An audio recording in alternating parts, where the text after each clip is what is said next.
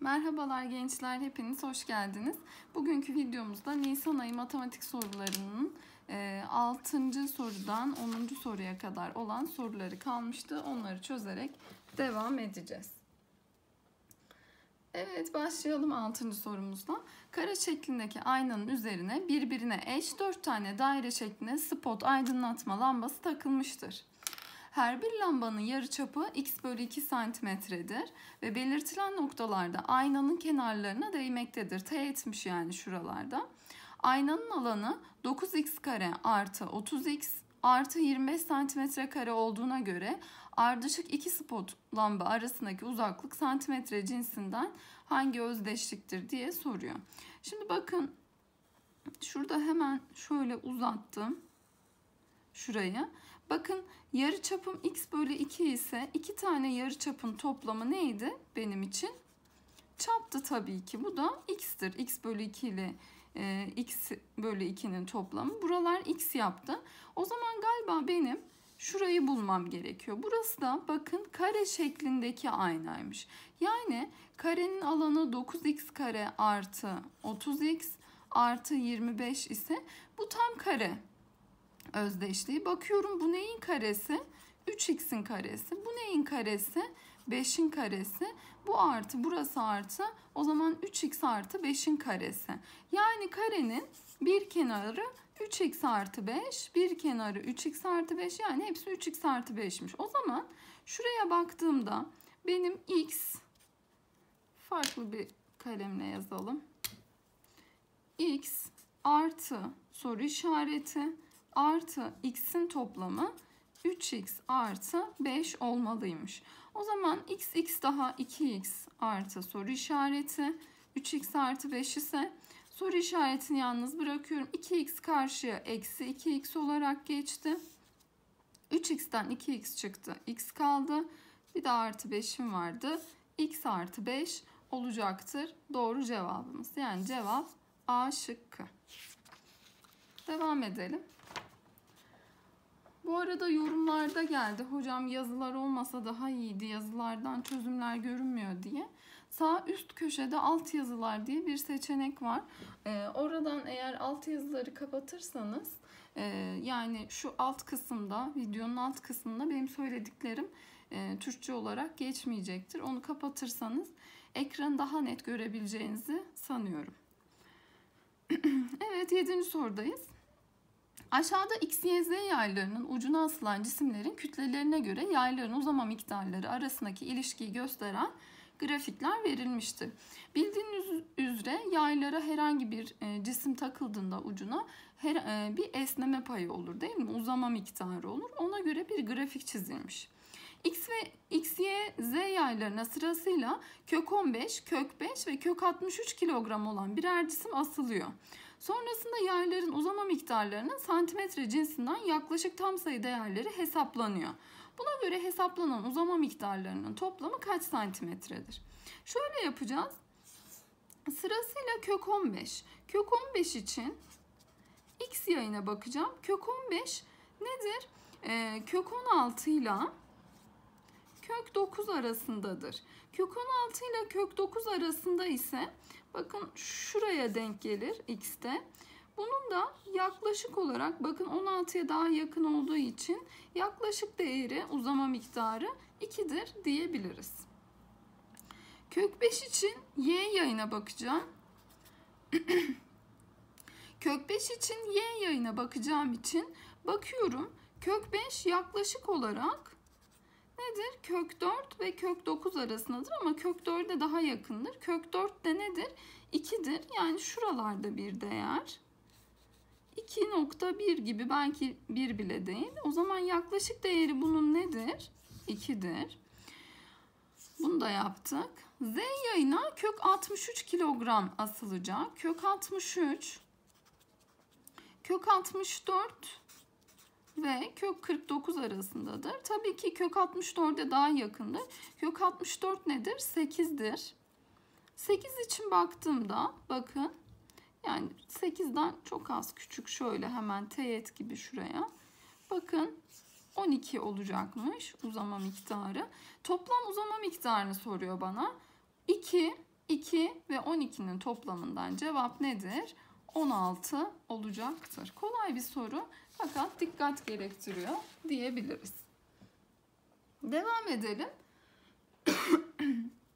Özür diliyorum. Eğim dikey uzunluğun yatay uzunluğa oranıdır.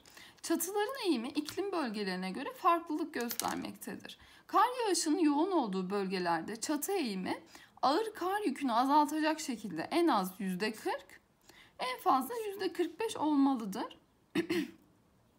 Bu önemli bir konu gerçekten. Sosyal çevre olarak. Ee, batı'da daha çok e, yani çatılarımızın eğimi daha azdı. Ama doğuya geçtikçe çatılarımızın eğiminin daha fazla olduğunu görürüz. Neden? Kar birikip çatı çatıyı kütlesinden dolayı yıkmasın, göçürmesin diye daha dik eğim kullanılır. Yani burada eğimim bakın en az yüzde 40 en fazla yüzde 45 olmalıymış. Şekil 1'de kar yağışlı bir bölgede yapılacak bir evin çatısının çizimi gösterilmiştir. Bu çizime göre yapılacak olan çatının eğiminin belirtilen aralıkta olması için çatının yüksekliğinin metre cinsinden alabileceği değerleri eşitsizlik olarak gösterelim diyor. Şimdi burada bir ikizkenar üçgen var. 32 metreymiş. O zaman burası 16, burası 16'dır. Şurada bir eğim var. Bakın çatı eğimi şurada. Bunun eğimine bakarsam ben eğim M harfiyle gösteriliyordu. Bakın dikey uzunluğun yatay uzunluğu oranı yani H bölü 16 burası. H bölü 16 dediğim eğim bakın ortaya yazdım. O zaman burada bir işlem yapmam gerekiyor ki H'yi bulayım. H bölü 16 tabi buralar en az ve en fazla dediğinde ne yapıyordum? Eşittir kullanıyordum. Bunu unutmuyorum. En az ve en fazla dediğinde. Burası yüzde 40. Burası yüzde 45. Tabii ki payda eşitleme yapacağım. Kaçta? 1600'de. Burayı 16 ile, burayı 100 ile, burayı 16 ile genişletirsem. Şuradan devam edeyim. Altta göremeyebiliriz. 16 çarpı 40, 640 bölü 1600. Burası 100 H bölü 1600. Devam. 16 çarpı 45 720 bölü 1600. Artık paydalarımı yazmaya gerek yok. 640 100 H ve 720. Şıkra, şıklarda böyle bir şey yok. O zaman ne yapmam lazım? Ee, H'yi yalnız bırakmam lazım. H'yi yalnız bırakmak için bakın 100'e bölüyorum. 100'e böldüğümde burası 6 tam onda 4 küçüktür. H küçüktür. Burası da 7 tam onda 2 yaptı. Doğru cevap hangi şık dersek doğru cevap C seçeneği. Evet devam ediyoruz. Evet çok uzun gibi uzun görünen bir soru ama çözümü o kadar da çok zorlayıcı değil. A sıfırdan farklı ve m n tam sayı olmak üzere A üssü n çarpı A üssü m eşittir. A üssü n artı m. Bu bir üslü sayı kuralı. Çarpmada üsler toplanır kuralı. A üssü m bölü A üssü n e, A üssü m eksine bu da üslü sayılarda bölme. Böldüğümüzde tabanlar aynıysa üsler çıkarılıyordu. Dır. Başak ve Esra bir mama firmasının sokakta yaşayan köpeklere mama bağışında bulunmak için düzenlediği yürüyüş etkinliğine katılmıştır. Bu mama firması etkinliğe katılıp 6000'den az adım atanların adına her 25 üstü 2 adım için bir mama paketi, 6000'den fazla adım atanların adına ise her 5'in kübü adım için bir mama paketi bağışı yapmıştır. Bu etkinlikte Esra 5000 adım, Başak ise 6000'den fazla adım atmıştır. Bu mama fabrikasının Başak adına bağış yaptığı mama paketi sayısı Esra adına yaptığı bağış e, mama paketi sayısının 10 katıdır. Başak Esra'nın 10 katı. Bunu anladım. Hemen yazıyorum. 10 katı olduğuna göre Başak'ın atmış olduğu adım sayısı en az kaçtır diye soruyor. Şimdi şöyle ekranımız evet görünüyor. Şimdi şöyle başlayacağız gençler. Esra'nın attığı adım sayısı kesin. Esra 5000 adım atıyor. Peki Esra'nın attığı 5000 adım sayısı 6000'den az adım atanların adına her 25'in karesi adımda bir mama paketi. O zaman bunun sonucunda ben Esra'nın kaç mama paketini paketi bağışladığını, kazandığını bulursam, burada da yazarsam 10 katı da Başak olacağı için buradan Başak'ın adım sayısına ne yapabilirim? Ulaşabilirim. O zaman bakalım. Burada işlemlerimizi yaparsak 5000 bu da 25 çarpı 25 demek. Bakın burası 50 çarpı 100 demek. Şöyle 2 oldu. 200 bölü 25 dersek de 8 paket bağış yapılır Esra'nın adına. 8 paket kazandı Esra yürüyüşünden.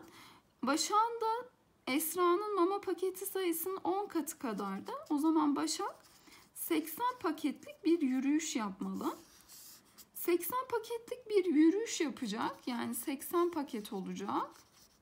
Ve ne olacak? Attığı adım sayısını bilmiyorum ama 6000'den fazla atmış. Yani her adımı e, her 5'in kübü kadar adımda 80 paket kazanmış olacak. O zaman Başak'ın attığı adım sayısını bulmak için içler dışlar çarpımı yaparsak 80 çarpı 5'in kübü 80 nedir? 16 çarpı 5'tir.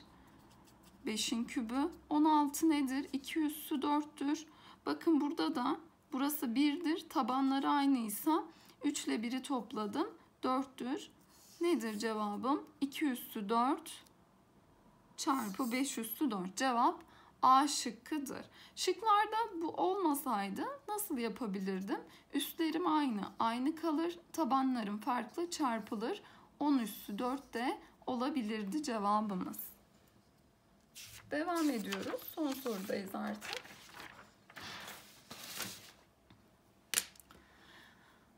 Eda Ber'in elinde biri diğerinden 5 santim daha uzun iki çubuk vardır. Kısa olan çubuk 20 eş bölmeye, uzun olan çubuk 30 eş bölmeye sahiptir. Ee, gençler buraya sığdıramadım. Bu 30 eş bölmeli. Eda Beren elindeki kalemin boyunu bu iki çubukta bölmeler yardımıyla bulmak istiyor. Kalemin boyunu şekil 1'deki gibi kısa çubukla ölçtüğünde 6, 6 eş bölmeye 6'ya geliyormuş. Şekil 2'deki gibi uzun çubukla ölçtüğünde 8 bölmeye karşılık geldiğini görüyor. Eda Beren'in elindeki kalemin boyu kaç santimetredir? Burada şıkları yazmayı unutmuşuz ama sıkıntı değil. Çözelim. Şimdi ben buraya biraz büyütülmüşün çizmişim galiba. Ee, yani öyle düşünebilirsiniz. Yoksa kalemin boyları aynı.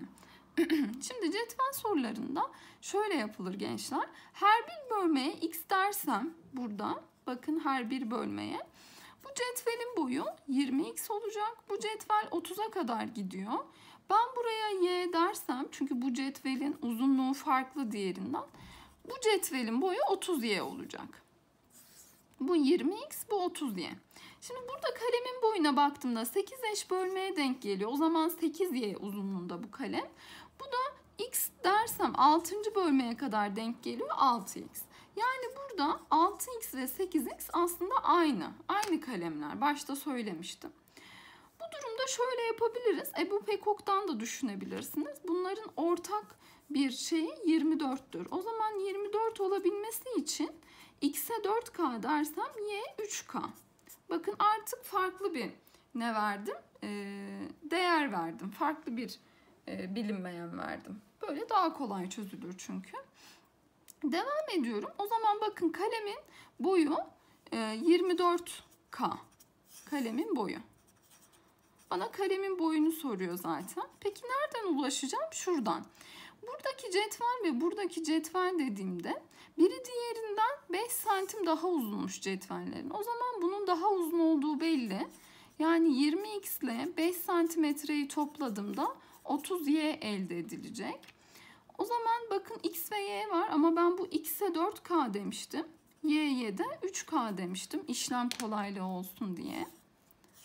O zaman 20 çarpı 4k 80k artı 5 eşittir. 30 çarpı 3k nedir? 90k'dır. 80k'yı sağa atarsam 10k 5 yaptı. 10k 5 yaparsa her iki tarafı 10'a böldüm. k eşittir 5 bölü 10 yaptı. 5 bölü 10 da nedir? 1 bölü 2'dir. Onu da yazdım. 1 bölü 2'dir. E kalemin boyu neydi gençler? 24K idi. O zaman 24 çarpı K'yı da 1 bölü 2 buldum. O zaman kalemin boyu kaç santimetredir? 12 santimetredir diyebiliriz. Evet, e, örnek sorularımızı da Nisan ayı örnek sorularımızı da bitirmiş olduk. Beni dinlediğiniz için teşekkür ederim. Videoları arkadaşlarınıza atabilirsiniz. Arkadaşlarınız da faydalansınlar. Öğretmen arkadaşlarım dinliyorsa, öğretmen arkadaşlarım takip ediyorlarsa öğrencilerine gönderebilirler, yakınlarına gönderebilirler. Çünkü en başından söylemiştim amacım öğrencilere faydalı olabilmek. Yani bir soru bile katkımız olabilirse ne mutlu bize diyoruz. Ee, dinlediğiniz için teşekkür ederim. Beğenmeyi, abone olmayı unutmayın. Ee, abone olmanızı şu yüzden istiyorum. Video eklediğimde size bildirim geliyor. Eğer bildirimleri açarsanız e, video attığımda size bildirim gelecektir. Daha iyi haberleşiriz diye düşünüyorum. Kendinize çok iyi bakın. Hoşça kalın. Görüşmek üzere.